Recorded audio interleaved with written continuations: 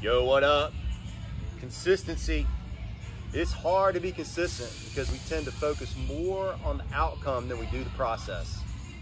Let me put that another way. We are more drawn to the positive feelings of outcomes rather than the struggle of the journey. Most of us quit during the struggle before we can ever experience the rewards of just staying the course. Be consistent. All right, so today's workout is the 100 burpees it's a 10 minute EMOM, 10 burpees every minute for 10 minutes. You can break that up in longer time domains if you need to. And then four push-ups, four sit-ups, four squats.